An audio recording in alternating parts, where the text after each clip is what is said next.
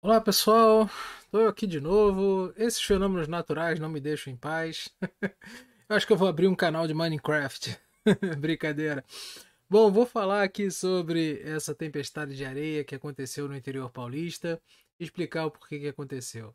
Se você gosta desses fenômenos naturais, dessas coisas loucas que acontecem com a natureza, das explicações principalmente, vem comigo que eu vou lhe contar. Mas antes, se inscreva aí no canal, deixe seu like e aqui embaixo o Instagram se inscreve lá né, para poder ter as notícias mais rápidas. Então, vamos lá. Tá aqui, ó. Tá aqui que, é, que aconteceu.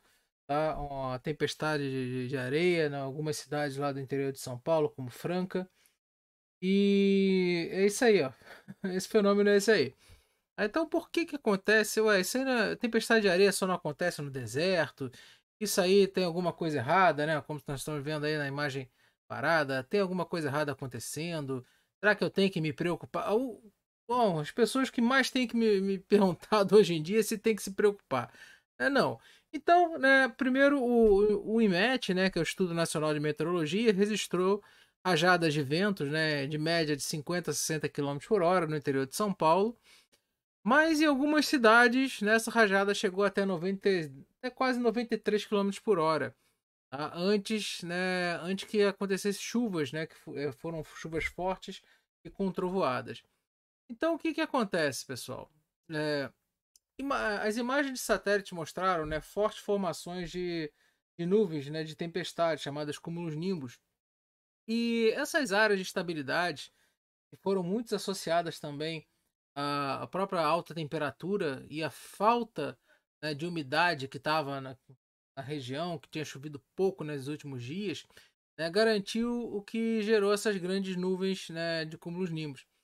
E capazes de gerar até granizo e vento forte, tá? Mas, como, como eu falei, né, o, o tempo ele vinha muito seco nessa região. Tá? Tinha uma chuva muito escassa por semanas. E em algumas cidades, né, até por meses, tá? não, não choveria. Então, o solo, né, o solo muito seco, o que, que aconteceu? grande parte, grande quantidade dessa poeira, dessa areia, dessa poeira que vocês estão vendo voando aí, não teve jeito. Quando deu esse sotapé de vento, quando deu essas rajadas de vento, esses ventos fortes, a poeira foi carregada né, pelo vento e deu essas tempestades de poeira, essas tempestades de areia, tempestade de poeira se formaram. Ah, então tem várias imagens bem interessantes, pessoas assustadas né, com isso, tal. Mas não, não, não tem que ter, não tem que ter medo, não. Não sei, não, não é nada demais, tá? Então, é, foi justamente que foi esse vento forte associado né, a essa área de estabilidade, essa, essa frente que está vendo, essa pré-frontal que chegou, estão jogando essa, esse vento muito forte né, na formação dessas nuvens. E essa, esses. Isso aí aconteceu em São Paulo, tá? Vai ter chuva, vai ter chuva de granizo, muito provavelmente. E Outros lugares do Brasil também pode ter isso, tá? principalmente quando vier acompanhado dessas nuvens muito fortes, esse deslocamento vertical. Tá? E, e, gente, não tem, não tem mais o que, que falar, porque realmente é o que? Rajada de vento, tá? Uma rajada de vento muito forte, por causa justamente da chegada, da formação dessas nuvens de tempestade. Normalmente, quando antes de formar uma tempestade, antes de formar essas nuvens grandes, tem essas rajadas de vento, isso é normal, tá? Já quem conhece sabe.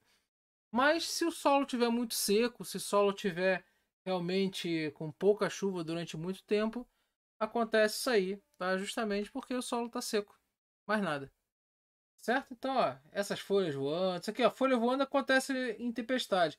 Agora, a, areia, né, a, a terra, né? Se, se não tivesse essa, essa areiazinha, essa poeira aqui em cima, todo mundo estaria tranquilo, porque era só né, falando, hum, ventania. Não, mas aqui aconteceu uma tempestade de poeira, uma tempestade de areia, né, como queiram, mas justamente por causa né, dessa questão do solo estar tá muito seco, muito, é, muito tempo sem, sem chuva.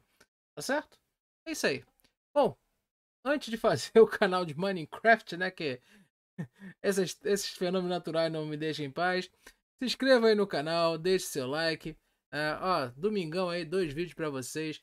Ó, Instagram e quem puder, seja membro aí do canal a partir de R$1,99. Você gasta menos com balinha que eu sei. Tá certo? Forte abraço, meus amigos. Até a próxima.